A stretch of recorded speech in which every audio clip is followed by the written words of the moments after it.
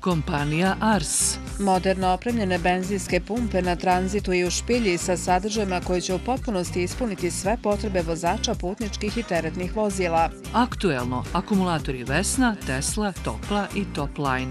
Gume, Sava i Kelly, Permant i Antifriz po akcijskim cijenama, autokozmetika. Širok izbor ulja i maziva domaćeg brenda, rafinerije ulja Modrića, Shell, Castrol i Elf ulja. Sve vrste motornih goriva, novo Eurodiesel Max Power, poboljšava rad motora, smanjena potrošnja goriva, plin, kućna dostava, lož ulja. Osvježenje uz veliki izbor pića i hrane, gotovih jela, pizza i jela sa roštilja potražite u restoranu benzinske pumpe na tranzitu. A na dohvat ruke nalaze se savremena automatska pravnica Ars Car Wash. Tehnički pregled vozila, teretni i putnički program. Moderno uređena autobuska stanica, domaće i međunarodne linije za Srbiju, Hrvatsku, Austriju i Sloveniju. U čijem sklopu se nalazi i kafić za ugodan boravak kako u dnevnoj varijanti, tako i u noćnom ambijentu. Kompanija Ars Info benzinska pumpa Transit 052 428 540 špilja 052 448 155. Tehnički pregled 052 225 212. Biletarnica 052 225 213. Kompanija Ars uvijek misli na vas.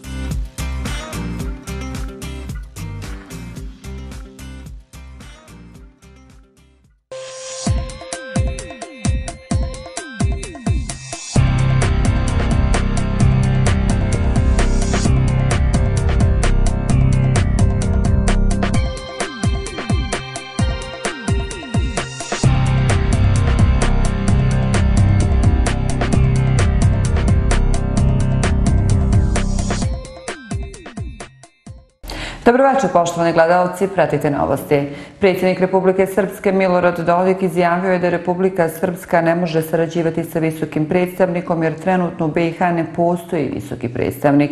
Dodik je rekao da osoba koja se lažno predstavlja i koju dio međunarodne zajednice pokušava nametnuti kao visokog predstavnika nikada nije potvrđena u Savjetu bezbjednosti UN-a.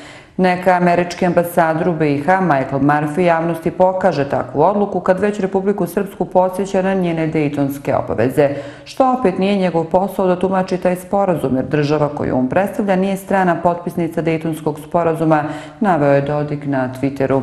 On je istakao da Narodna skupština Republike Srpske ima legitimno pravo i ustavnu obavezu da štiti Republiku Srpsku od antidejtonskih aktivnosti lažnog visokog predstavnika zato je predložila izmene zakona i drugih propisa kojima će se regulisati da se u službenom glasniku Srpske ne objavljuju njegove odluke.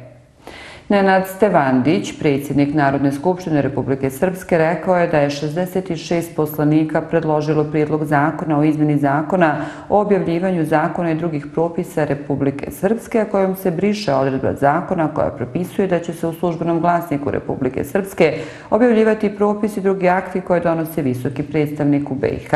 On je kazao da sve što se do sada dešavalo, odnosno pored svih kriza koje su bile izazvane, Srpska nastavila da funkcioniše. Naša borba sa OHR-om je dugotrajna. Mnogi procesi u Srpskoj su bili diskriminisani. Podsjećam vas da je vlada Srpske od 2008. godine svoj dnevni red morala slati u Sarajevo, pa se u OHR-u pravio dnevni red, to jest oni su odobravali. To je bilo u prvih 15 godina borbe sa OHR-om. Situacija je dobila dramatičan obrat kada su se te odluke počele ticati imovine, s obzirom da je legalitet Kristijana Šmita upitan jer nije priznat u Savjetu bezbjednosti UN-a i zato jer je nelegalan. Potpuno je normalno da Srpska u svom zakonu izbriže da se njegove odluke ne objavljuju u službenom glasniku, kazuje Stevandić, te dodao da borba neće prestati i da Narodna skupština Republike Srpske ne može ostati imuna na to.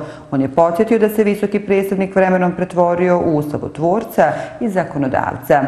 On se pretvorio u čovjeka koji može da imenuje, smjenjuje. Njegove nadležnosti su propisane aneksom 10 i to njegovim dijelovima. Tu nigdje ne može da piše da je on zakonodavac, a što je on činio godinama. On ne može interpretirati odluke koje nisu napisane, ne može minjati ustav, zabranjivati učešće na izborima, oduzimati lične dokumente i sl. Sve je to kršenje aneksa 10, rekao je predsjednik Narodne skupštine Republike Srpske. Sutra će biti održana 18. redovna sjednica Skupštine opštine Kozarska Dubica sa 33 tačke dnevnog reda. Odbornici bi trebali da se izjasne o planu za izmirenje neizmirenih obaveza opštine Kozarska Dubica prenesenih iz prethodnog perioda, te o konsolidovanom izvještaju o izvršenju budžeta opštine za 2022. godinu. Na dnevnom redu sjednice biće izvještaj o radu i materijalno-financijskom poslovanju u prošloj godini javnih preduzeća i ustanova, Centra za socijalni rad, Dječeg vrtića Pčalica, Narodne biblioteke, Centra za informisanje i kulturu i turističke organizacije. Razmatraće se i izvještaju radu lokalnih udruženja i organizacija kao i Republičkog javnog pravobranilaštva. Pred odbornicima će se na ovom zasjedanju naći program obilježavanja značajnih događaja iz obrambeno-otočbinskih ratova za ovu godinu, kao i više materijala iz nadležnosti udjeljenja za poljoprivredu, među kojima je i program korištenja poljoprivrednog zemljišta u svojini Republike Srpske na području opštine Kozarska Dubica za 2023. Predviđeno je i donošenje odluka o komunalnim taksama, o utvrđivanju početne visine mjesečne zakupnine poslovnih prostora u vlasništvu opštine i utvrđivanju vrijednosti boda za obračun komunalne naknade za tekuću godinu. Ukoliko odbornici daju zeleno svjetlo, poslovne prostore na korištenje na određeno vrijeme dobit će Lovačko druženje Jelen i Gradsko kulturno-medičko društvo UNA, a zemljište Udruženje Promete. I ova sjednica lokalnog parlamenta biće održana sa početkom u 9 časova u Velikoj skupštinskoj sali. U Beču su sinoć promovisane knjige u kojima su sabrani govori predsjednika Republike Srpske Milorada Dodika, za koje je priređivač Milan Ljepojević istakao da predstavljaju svoje vrstno svjedočanstvo o kontinuitetu politike očuvanja razvoja i odbrane Srpske, kao i da je važno da se to čuje u međunarodnim okvirima. Riječ je o kompletu knjiga od pet dijelova u kojima su sabrani mnogobrojni govori, besjede i javna obraćanja predsjednika Srpske koji svjedoče o njegovim aktivnostima i političkom programu u proteklih 20 godina. On je naveo da to predstavlja njegov izvještaj koji je prije svega podnosio građanima Republike Srpske kao i politički program za koji se zalaže tokom posljednje dvije decenije. Suština tog programa je jasna, a to je da za srpski narod u BiH nema budućnosti bez stabilne i jake Republike Srpske, čije su nadležnosti potpuno jasno definisane u Dejtonskom sporazumu, rekao je Ljepojević na promociju predstavništvu Republike Srpske u Beču. Šef predstavništva Republike Srpske u Austriji, Mladen Filipović, izrazio zadovoljstvo što je promocija organizovana u Beču, ističući da je ovo izdanje svojim porukama doprinosilo jačanju ideje zajedništva, što je veoma važno i za mnogobrojnu srpsku zajednicu u Austriji. Promociji su prisustovali brojni ugledni predstavnice srpske zajednice u Beču. Broj požara u Republici Srpskoj na godišnjem nivou na otvorenim površinima je zabrinjavajući i potrebno je povećati otpornost tih prostora, ali i edukovati stanovništvo kako bi se broj požara smanjio, rekao je Slavko Stupar, predstavnik Ministarstva poljoprivrede, šumarstva i vodoprivrede Republike Srpske. Stupar je istakao da je to cilj projekta o upravljanje požarima na otvorenom području Balkana, čija je realizacija u toku. Tada se održava druga radionica u okviru ovog projekta koju organizuje Ministarstvo, a cilj je da dobijemo što bolje rješenje rješenje, ideje i prijedloge za poboljšanje i sprečavanje negativnih efekata uticaja požara na otvorenom, rekao je Super u Banja Luci. On je napomenuo da je projekat tek na početku, te da je u toku pravljanje mreže zainteresovanih strana kako bi se dobio jedinstven dokument koji će dati upustvo kako kvalitetno riješiti probleme požara na otvorenom. Nikola Nikolov, rukovodilac regionalnog centra za praćenje šumskih požara, koji je regionalni strateški partner na projektu, rekao je da se osnovne mjere mere za upravljanje požarima na otvornom mogu svrstati u tri grupe, a to su preventiva, smanjenje rizika i povećanje pripremljenosti. Fondu za penzijsko i invalidsko osiguranje Republike Srpske uplaćeno je 283.946 maraka iz programa socijalnog zbrinjavanja za 192 radnika iz 13 preduzeća koji su procesom stečaja likvidacije ostali bez zaposlenja. Na osnovu odluke vlade Republike Srpske 188.559 maraka namjenjeno je za djelomičnu uplatu doprinosa za penzijsko i invalidsko osiguranje sa 179 radnika preduzeća Dalekovod Doboj. Iznos od 95.387 maraka predviđen je za uplatu doprinosa za penzijsko i invalidsko osiguranje za 13 radnika iz 12 preduzeća koji su se prijavili na javni poziv fonda koji se uplatom ovih sredstava stiče stiču uslove za starostu penziju. Iz fonda navode da radnici kojima su uplaćena sredstva, čime ispunjavaju uslove za penziju, mogu odmah da podnesu zahtjev za ostvarivanje prava na starostnu penziju u nadležnoj poslovnici fonda.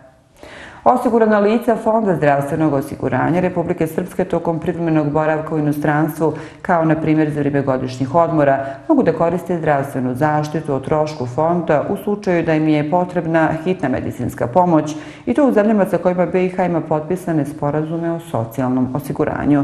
Iz fonda navodi da BiH ima potpisane sporazume o socijalnom osiguranju sa Srbijom, Crnom Gorom, Hrvatskom, Sjevernom Makedonijom, Slovenijom, Mađarskom, Turskom, Holandijom, Austrijom, Njemačkom, Italijom, Rumunijom, Belgijom, Češkom i Luksemburgom. Prije polaska u ove zemlje, osiguranici mogu da dobiju i na obrazce i osiguranici koji putuju u Poljsku, Slovačku i Veliku Britaniju imaju pokrivene troškove hitne medicinske pomoći, s tim da za ove zemlje Fond zdravstvenog osiguranja ne izdaje obrazce jer je međunarodnim sporazumima drugačije regulisano, navode iz fonda. Prije polaska na put osigurano lice treba da od porodičnog ljekara dobije uvjerenje o zdravstvenom stanju, odnosno o sposobnosti za put. Na osnovu tog uvjerenja nadležne poslovnice Fonda zdravstvenog osiguranja Republike Srpske izdaju odgovarajući obrazac koji se u fondu ne naplaćuje. Na području nadležnosti Policijske uprave Prijedor od sutra do subote 24. juna pojačano će biti kontrolisani učesnici u saobraćaju sa akcentom na kontrolu motocikala, lagih motocikala, mopeda i bicikala. Policijska uprava Prijedor apeluje da učesnici u saobraćaju poštuju saobraćene pravila i propise, a posebno vozači motocikla, lagih motocikla, mopeda i bicikala prilikom učestovanja u saobraćaju da poštuju zakonsku obavezu korištenja zaštitne opreme. Ljeto je počelo danas u 16 časova i 57 minuta. U isto vrijeme za stanovnike na južnoj zemljenoj polulopti počela je zima. Na dan početka ljeta obdanica je najduža, a noć najkraća. Na dan početka ljeta sunce pravi svoj najveći dnevni luk iznad horizonta. Izlazi na sjeveroistoku, na jugu dostiže najveću dnevnu visinu, a zalazi na sjeverozapadu. Podnevna visina sunca je najviša na sjevernoj zemljenoj polulopti.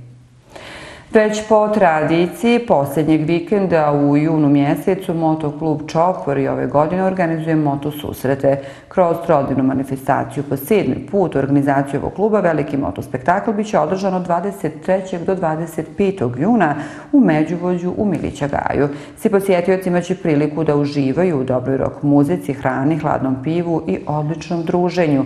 Prvog dana susreta nastupit će Kop i Sinhro, a u subotu posjetioci će zabavljati Brkovi, Balkan Express i Domino Efekt poručuju organizatori. Ulaz je besplatan, a obezbiđen je i Slobodan kamp. Organizaciju sedmih moto susreta u Milića Gaju i ove godine podržala je opština Kozarska Dubica, a generalni sponsor manifestacije je specijalna bolnica Mlječanica. Slijedi pregled servisnih informacija. U hitnoj službi Doma zdravlja tokom večerašnjeg dana i prošle noći pomoć je zatražilo 19 lica.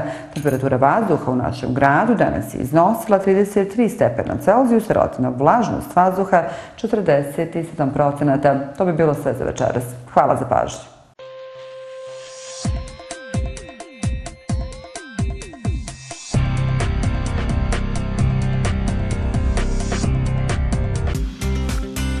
Kompanija Ars Moderno opremljene benzinske pumpe na tranzitu i u špilji sa sadržajima koji će u potpunosti ispuniti sve potrebe vozača putničkih i teretnih vozila. Aktuelno, akumulatori Vesna, Tesla, Topla i Topline.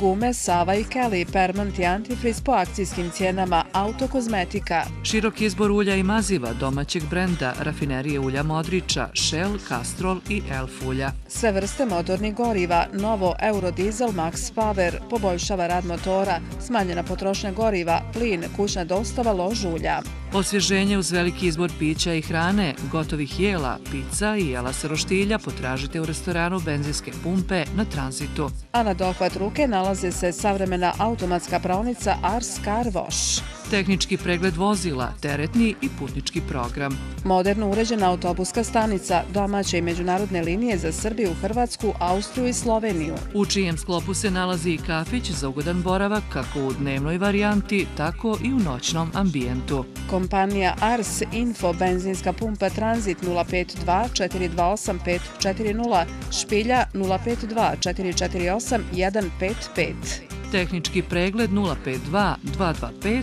212. Biletarnica 052 225 213.